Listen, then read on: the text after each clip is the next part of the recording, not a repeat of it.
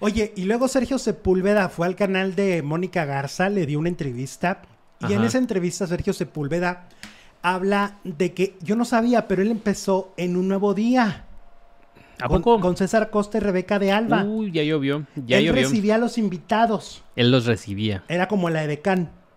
Sí. Pásele agüita. Ajá, hola, mucho gusto. Bueno, ahorita- pues así se empieza. Ajá, y entonces se ponía a platicar con, con ellos, con los famosos, y dice que fue padrísima esa etapa. Y luego ya lleva 22 años en TV Azteca, 17 en Venga la Alegría.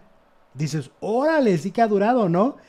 Y, este, y la, la entrevista está interesante porque pues te habla de, de, de cuando murió su papá, de cuando, eh, como su mamá ha sido pues sí un pilar importante en su vida, pero también muy posesiva, este, como ah, su primer matrimonio que fracasó, que duró ocho años casado, ahora ya tiene bastantes también con, con este, mm, creo que tiene 18 con la actual... eh, eh, esposa. Está interesante también la entrevista del buen Sepúlveda, porque ahí sí, pues a- arroja datos. Siento que no es un personaje que tengamos tan clara la vida de él, ¿no? Como que, o sea, lo vemos en la tele, es súper conocido y súper famoso, pero como que su vida personal no la tenemos tan presente como otros del programa, ¿no?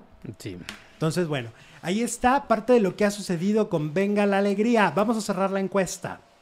Y la encuesta cierra en sí, pues sí debería de mandar Maribel Guardia a la funeraria. 93% se cierra. Vámonos al siguiente programa. Nos vamos a Alejandro Zúñiga Telenovelas, es el canal de YouTube. Nos vemos en menos de un minuto. Regresamos. Recortan una telenovela. ¿Qué está pasando? Además, crítica para la nueva historia de William Levy y mucho más. Vénganse todos. Regresamos.